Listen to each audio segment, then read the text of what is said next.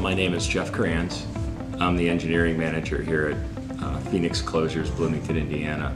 We're a manufacturer of plastics packaging. Um, some of our biggest customers are Jif, Smuckers, Kraft, Heinz, um, as well as Talenti Gelato, which is owned by Unilever. We had always done our own uh, design build. Um, not real successful at it. Um, we're good at the, the plant layout, the machinery layout of it. But we kind of always missed the boat on what it took to rehab the building and all the hidden things in it.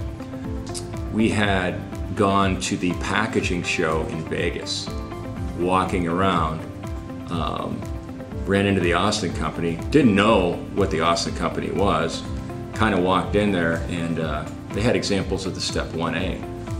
And I'm in there by myself and it was kind of a eureka moment. I was like, oh, this is perfect.